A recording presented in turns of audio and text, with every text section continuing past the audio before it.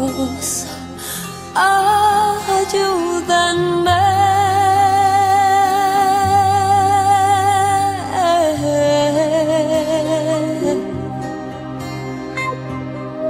Esta es mi confesión.